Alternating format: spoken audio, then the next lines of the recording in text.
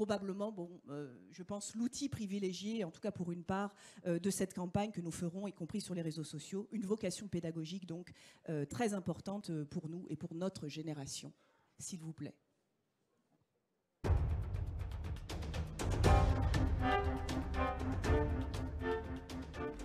Le système politique actuel est devenu fou. La finance et ses serviteurs forment une caste. C'est l'oligarchie qui tient tout.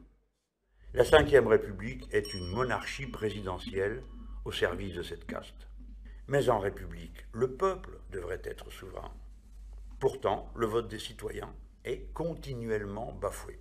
Il faut balayer tout ça. Dès que vous m'aurez élu, je convoquerai une assemblée constituante. C'est elle qui sera chargée de rédiger la nouvelle constitution. Elle abolira la monarchie présidentielle.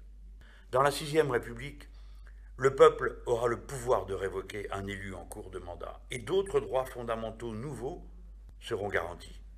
Par exemple, la libre disposition de soi, c'est une liberté fondamentale de la personne humaine. Le droit à l'avortement, la liberté de conscience, le droit de mourir dans la dignité seront donc garantis par la Constitution.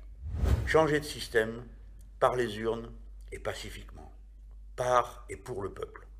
C'est ça la révolution citoyenne.